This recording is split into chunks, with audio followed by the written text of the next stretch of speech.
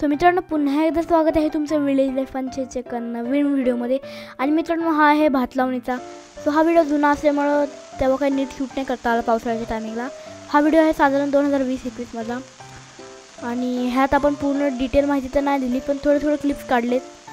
So चला आता पुढे बघूया.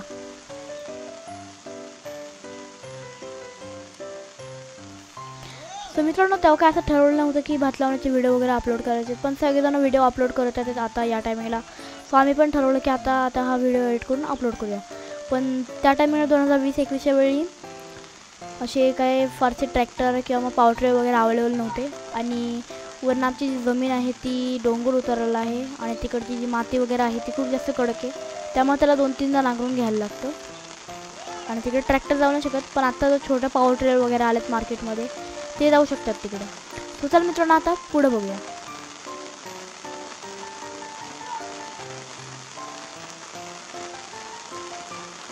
तर मित्रांनो जे आमचे गाव आहे कशाडी गाव ते पानशेत डॅमच्या बॅकवॉटरला आहे साधारण वीस एकवीस किलोमीटरवरती आणि हा भाग जो येतो तो ऑलमोस्ट कोकणाच्या आतमध्येच येतो जर आपण इकडून खूप जास्त वरती गेलो तीस चाळीस किलोमीटर किंवा पन्नास साठ किलोमीटर तर तिकडून वरती सगळा कोकणाचाच भाग चालू होतो. आणि आमच्या इकडून वरती गेलं तर खानू गाव आहे आणि असे खूप सारे अनेक गाव आहेत आणि वरतून कोकण देवा दिसतो एकदम टॉपवर गेलं तर. सो चला मित्रांनो आता पुढं घेऊया सो मित्रांनो आमच्याकडे भात लावण्याची सुरुवात होती मेमधनं सो सगळ्यात पहिलं मेमध्ये आमच्या इकडं खासरं दोन तीनदा नांगरून घेतात. कारण मी मगाशीच सांगितलं आमच्या इकडची जी माती आहे ती खूप जास्त कडक असते. आणि दोन तीनदा नांगरून घेतल्यानंतर ते जे ढेकळं असतं ते आम्ही फोडतो. आणि जेव्हा जूनचा पहिला महिना होतो तेव्हा थोडासा पाऊस पडतो. तेव्हा आम्ही जे बिया असतात भाताचे बिया ते पेरतो. आणि पेरल्यानंतर जेव्हा ते महिन्याभराने उगवून येतात तेव्हा ते उपटतो. आणि त्याची गाये किंवा मग पेंदे बनवून साईडला ठेवतो. आणि त्याचे साईडला ठेवलेले पेंदे किंवा मग गाय असतात ते उचलून बांधाच्या कडाला ठेवायचे असतात. म्हणजे बांधावर ठेवायचे असतात. जेणेकरून आपल्याला खासला चिखल करायला जास्त जागा मिळेल.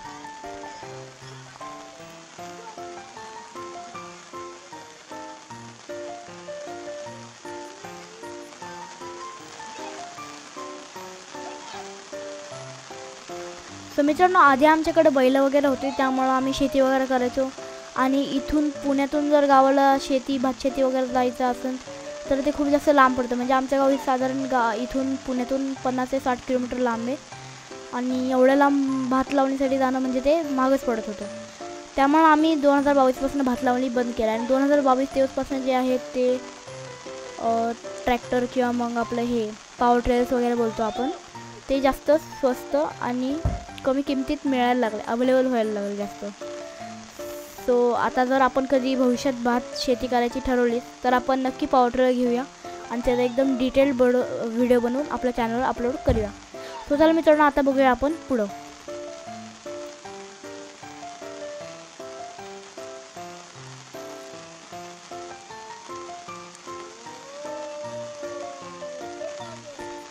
आणि मित्रांनो आमच्या गावकडची जी माती आहे ती खूप जास्त कडक असते आणि चिकट असते. त्यामुळे तिला दोन तीन वेळा उभी आणि आडवी नांगरून घ्यायला गरजेचं असतं. कारण जे ढेकळं असतात ती मोठी मोठी ढेकळं असतात आणि मग त्यांना जे पाण्यामध्ये पण ते फुटत नाही. तो बघू शकता आता समोरच्या क्लिपमध्ये की बाबा कसे साईड साईडची ढेकळं फोडत आहेत. कारण तिकडं जे बैलांचं नांगर आहे ते जाऊ नाही शकत एवढं कडवाला वळवताना वगैरे.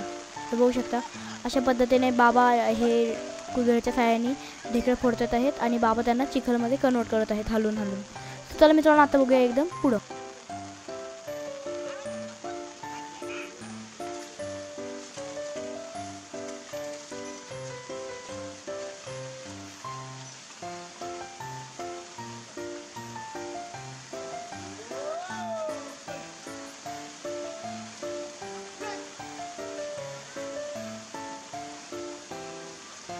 तर बघू शकते मित्रांनो या क्लिपमध्ये बाबा जे आहेत ते साईड साईडने थोडं थोडं नांगर फिरवत आहेत.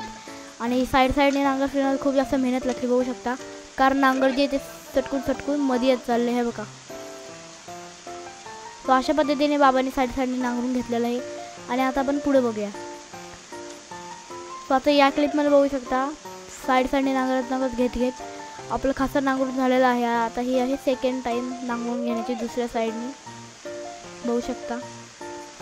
आणि असं करता करता आपलं पूर्ण शेत नांगरायचं आहे परत एकदा. तर चला मित्रांनो आता आपण बघूया पुढं. भात शेतीकडे.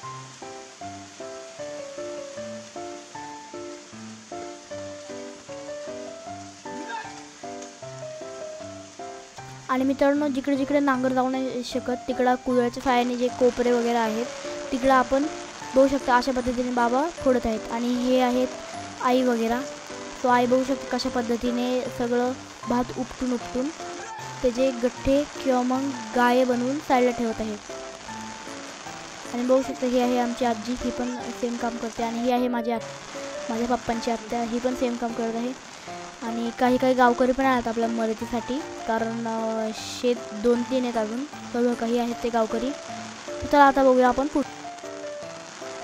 तर मित्रांनो आमच्या गावाला पाय भातू भात उपटताना गुडघे किंवा पाय वगैरे दुखू नये जास्त वेळ त्यावर बसून. तर आमच्या गावकडे एक औजार वापरलं जातं लाकडाचं त्याला म्हणतात टिवके. तर हे लाकडाचं औजार स्टूलसारखं असतं लाकडाचं बनवलेलं. आणि छोटंसं असतं आणि त्याचे जे दोन्ही वरचे आणि खालचे साईड असतात ते सपाट असतात. त्यामुळे ते चिखलात पण जास्त आतमध्ये जात नाही. आणि आता बघू शकतो त्यात मी क्लिप दाखवतो. हे आहे मित्रांनो टिवके. सो आई आता ह्याला नीट करते कारण त्याचा खालचा पाठ निघालेला आहे थोडासा. तर बघू शकता हे ह्याला बोलतात आमच्याकडे टिवके आणि त्याचा जो खालचा पार्ट आहे तो चिखलट ठेवतो आपण आणि त्यावरच्या पाटावर आपण बसून भात उपटतो. आता उपटलेल्या भाताचे जे गाय असतात त्यांना आपण उचलून साईडला ठेवलेलं आहे ऑलरेडी सो आता त्याला बघूया कुठ सो मित्रांनो आता हे जे घातलेलं आहे सगळ्यांनी ह्याला बोलतात आमच्याकडलं इरलं. आता काही काही जणांनी इरलं घातलं काही काही जणांनी प्लास्टिकची रेंट करून घेतली. पण जे आधीच्या टायमिंगचे इरले असायचे ना त्यांना झाडाचे वाळलेले पत्ते किंवा मग केळीचे मोठे वाळलेले पत्ते ते त्यांचा यूज करून इरल्याला अजून जास्त वॉटरप्रूफ बनवायचे. पण आता काय आता प्लास्टिक वगैरे आले. त्यामुळे इरल्यावर आपण प्लास्टिक वगैरे टाकू शकतो किंवा मग प्लास्टिकच घालून आपण भातशेती करू शकतो. जसं की बाबा बघा कसं प्लास्टिक घालून कुदळ्याच्या साह्याने कडाचे ढेकळे फोडत आहेत जे मोठे मोठे आहेत. आणि सो मित्रांनो आता आपण बघूया पुढे.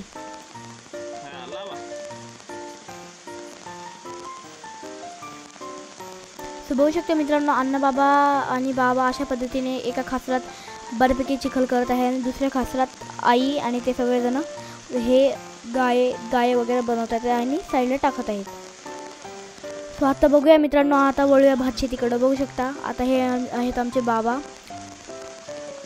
आता हे करत आहेत भात शेतीची सुरुवात. हे दरवेळी भात शेतीची सुरुवात करतात. आणि बघू शकता मित्रांनो आमच्याकडे जे भात भात लावले जातात जास्त दाट लावले जाते जास्त जाड लावले जातात कारण आमची जी गावाकडची जमीन आहे ती एवढी जास्त सुपीक नाही आहे त्याला काय एवढं जास्त सुपीक नाही आहे त्यामुळं आम्ही इथं असे जाड जाड भात लावतो. आणि यामुळेच आपल्या आमच्याकडे हे जाड भात लावले जातात.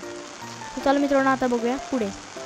आणि ऐका मित्रांनो तुमच्याकडे किती भात लावले जातात हे पण नक्की कमेंट करून सांगा.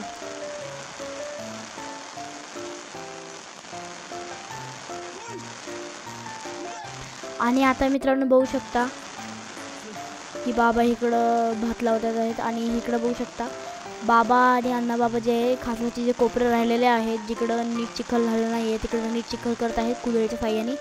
तर बघू शकता अशा पद्धतीने आमच्याकडे चिखल करत आहेत. आणि आता बघूया आपण पुढे.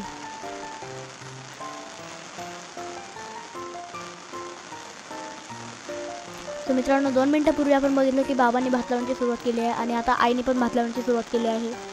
अजून इथं पण भात लावण्याची सुरुवात केली आहे. आणि मित्रांनो हे जे आहे ना अर्ध खासर झालेलं आहे आमचं कारण जे मध्ये ना आम्हाला शूट नाही करता आलं कारण जे कडं ठेवलेले भाताचे पेंदे किंवा मग गाय बोलू शकतो आपण त्यांना त्याला आम्हाला त्यांना त्या गायांना किंवा मग आम्हाला मध्ये फेकायचं काम ह्यांच्याकडे फेकायचं काम होतं. त्यामुळे जे मधला पार्ट आहे आपण ते शूट नाही करू शकलो. आणि मेन म्हणजे पावसाळ्याच्या टायमिंगला एखाद्या डी एस आर आर कॅमेराने शूट करणं अवघड असतं कारण तो वॉटरप्रूफ नसतो. सो चला आता मित्रांनो आपण बघूया पुढे.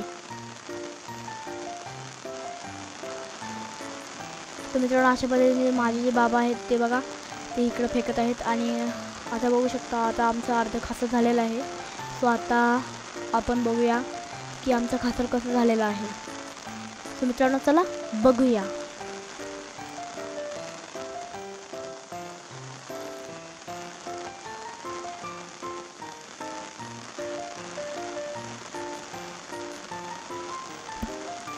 तर मित्रांनो बघू शकता आमचं खासर कसा झालेलं आहे आणि आता जास्त जोरात पाऊस झालेला आहे.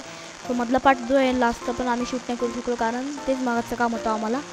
तर बघू शकता खालपर्यंत आम्ही खासर केलेले आहेत. तिकडं थोडंसं राहिलं तिकडं पण गेलेत बाबा. कुठे हे करायला. आणि हे बघा हा आहे एक सीन दुसऱ्या खासराचा वरच्या खासराचा आणि आमच्या गावाला ना खूप जास्त जोरात पाऊस असतो आणि एकदम सोसाट्याचा वारा असतो. बघू शकता. आणि हे झाडं आहेत.